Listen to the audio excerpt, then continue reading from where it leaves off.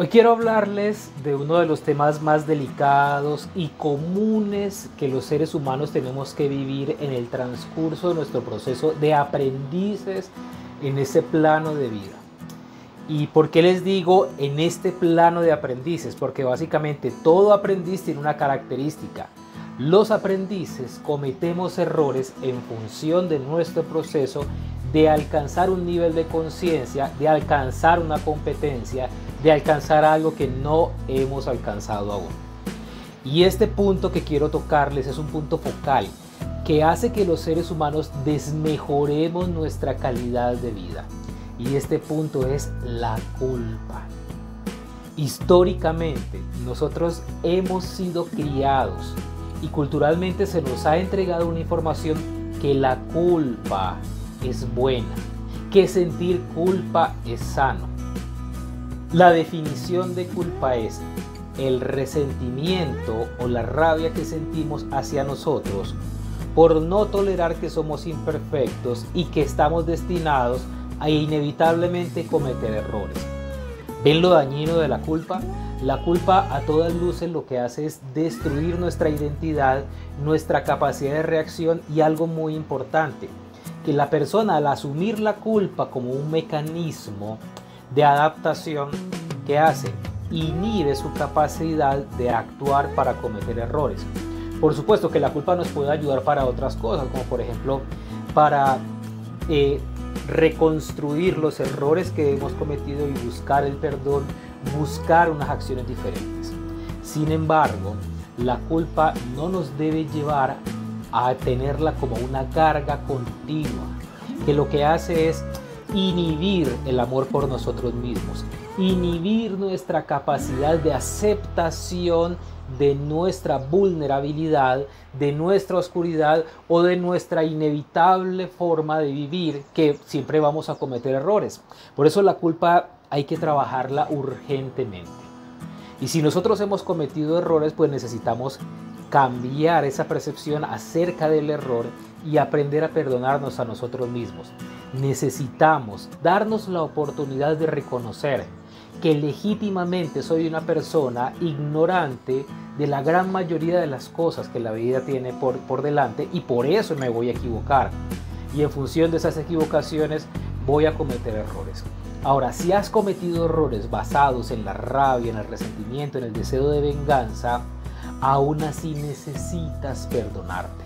Aún así necesitas mirarte al espejo y decir, hoy yo me perdono por haber hecho esto, por haber pensado esto, por haber omitido esto en mi vida. Necesitamos perdonarnos urgentemente. Y no esperes a que Dios te perdone. ¿Sabes por qué? Porque Él ya lo hizo. No hay juicio de parte de Dios hacia, hacia sus hijos, hacia la humanidad. No. El único juicio está aquí en nuestra cabeza. Entonces es un error pensar que yo necesito un perdón divino. No. El perdón debe nacer de mí. ¿Sí? El perdón debe nacer de mí, de mi interpretación amorosa, de mi vulnerabilidad, de mi proceso de aprendiz en este plano terrestre.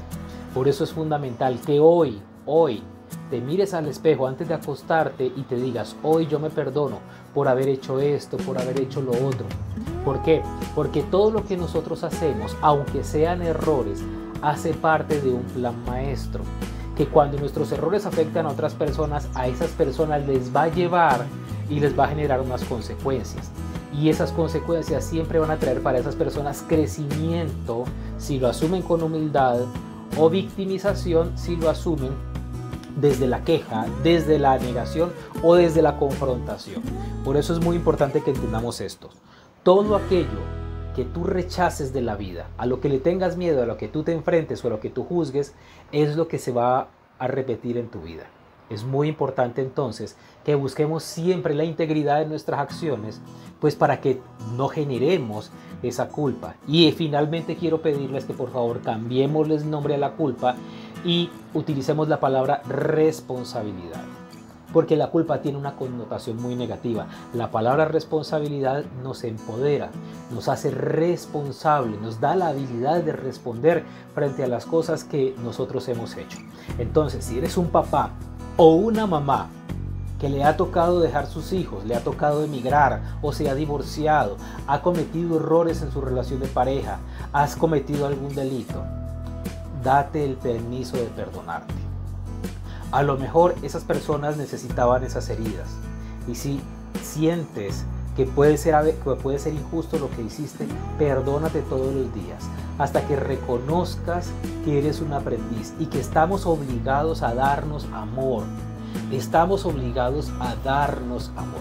Yo sé que esta información que les estoy compartiendo puede resultar muy fuerte para algunos de ustedes, pero siento que es mi deber compartírselas, porque en un momento no muy lejano vamos a ver el escenario completo, así como yo pude ver el escenario de mi vida, que las personas que nos estafaron les debo una profunda gratitud porque ellas me llevaron a transformar mi vida y a entender cosas que no entendía, a hacer cosas que no pensaba que podía hacer. Por eso es muy importante perdonarnos, porque todo lo que podemos ver mal en el pasado, en el futuro se convierte en una bendición. Entonces voy a darte una herramienta final, una herramienta final para que la practiques día a día. Cada vez que te esté sucediendo algo, ya sea de lo externo que venga a ti, te moleste, te cause dolor, o cada vez que sientas culpa, remordimiento, vas a cerrar los ojos y vas a decir, hoy yo bendigo y agradezco esta situación y hoy me perdono por lo que haya hecho en ella que sea mi responsabilidad. Lo vas a decir todos los días, cada vez que enfrentes una situación difícil, cada vez que enfrentes una situación que te cause un movimiento interno.